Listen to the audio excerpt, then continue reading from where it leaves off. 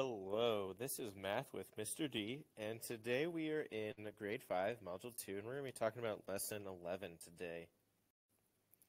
Our objective for today's lesson is to add mixed numbers with unrelated units. Some of the key questions we have how do you decide which method to use when you add mixed numbers with unrelated units? How is adding mixed numbers with unrelated units similar to and different from adding them with related units? This lesson is originally built to be a gallery walk. We're going to go through the three stations and show some of the work that could have been shown. Here's station one. We're going to solve this problem two different ways and hopefully cover some of the ways or methods that you would have solved it. So here we have 5 and 7 ninths plus 3 and 2 fourths. We see that they are unrelated units, so that means that we are going to need to rename these units. If I think about ninths and fourths, a good unit to rename these two into might be 36. So writing out these two fractions, can solve this multiple ways. The first way, I'm going to change these and rename these as 36. If I have 7 ninths, I would multiply by 4 over 4 to get 28. 36. If I have 2 fourths, I'm going to multiply by 9 over 9 to get 18 36. If I rewrite my problem, I would now have 5 and 28. 36 plus 3 and 18 36. One of the ways now to do this is to number bond 3 and 1836 into a friendly unit to add to 2836. We could write 8 36 and 3 and 10 36.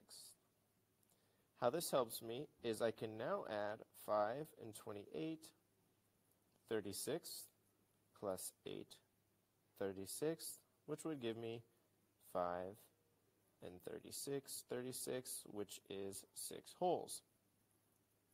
I now can add in the 3 and 10 36, and that would give me 9 and 10 36. Another way to solve this problem would be to see that 2 fourths can be composed into a fraction of 1 half. If I know that 3 and 2 fourths, I could divide by 2, divide by 2. That could be written as 3 and a half. If I have 5 and 7 ninths and three and a half, I now could create eighteenths with these two fractions and rename my ninths into eighteenths and my halves into eighteenths.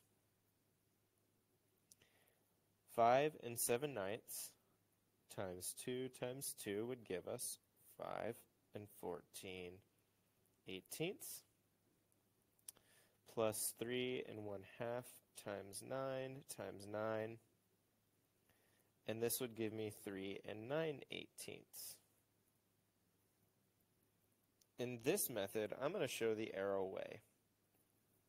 If I'm starting with 5 and 14 eighteenths, I could jump 4 eighteenths. If I break apart 3 and 9 eighteenths into 4 eighteenths and 3 and 5 eighteenths, I can jump plus 4 eighteenths to get to 6.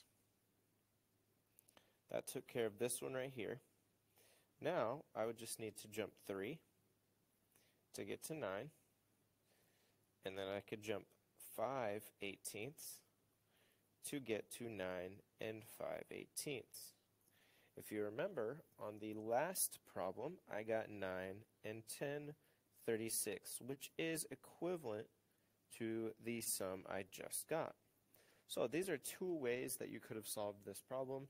They are not the only ways you could have solved, but two ways that you could have created like units in order to add. The second station in this gallery walk says write an equation with unrelated units to match the work shown. We know that we have two addends. The first one is easy to see. We know we have 9 and 24 thirtieths. Now, the jumps on the number line are going to show my other addends. So all of these terms are going to show what I'm adding together. So it's going to be 8. And then if I add 6 thirtieths and 19 thirtieths, that would be 25 thirtieths. Now, it says write an equation with unrelated units. Right now, we have related units, and we have like units. So we have 30ths and 30ths. So we need to figure out how to change those into different units that are unrelated. If I use my composition, I can divide these fractions by the same number and get different fractions. On this first one, 9 and 24 thirtieths, I see that I could divide by 6. So that would give me 9 and 4 fifths. On my 8 25ths, or 8 25 thirtieths, I see that I could divide by 5. 25 divided by 5 would be 5, and 30 divided by 5 would be 6. So this fraction could be written as 5 sixths. Now, this gives us two unrelated units. 9 and 4 fifths. Our fifths are unrelated to my 8 and 5 sixths. So that solves the work shown. If I would have to solve this addition problem, I would change these back into 30ths in order to add them back up. In this process, you kind of had to work backwards in order to create two different fractions with unrelated units. The third station gives us some creativity. It says create a word problem to match the expression. In this video, I'm going to give you pointers for how you could write a word problem here. We know that we have unrelated units. 7 and 1 third is unrelated to 6 and 11 tenths. So we don't need to change those fractions at all. In order to create a word problem, we just need to create context for these two fractions. The first number, 7 and 1 third, we need to create an, a quantity that represents 7 and 1 third something. And then add that 7 and 1 third to 6 and 11 tenths. That is going to be the basis for our word problem. I'm going to show you two examples you could write to solve a problem like this and create a problem like this. Here is just one example of what you could have written. The fifth graders fill seven and one third boxes with canned food donations. The fourth graders fill six and eleven sixteenths. Oh, I've been saying tenths the whole time. That's sixteenths.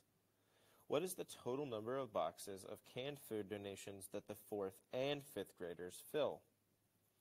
This would require us to add up these two numbers, 7 and 1 third plus 6 and 11 sixteenths, in order to find the sum. This would satisfy creating a word problem to match this equation. Now, this has been Math with Mr. D. Thank you guys for joining me today.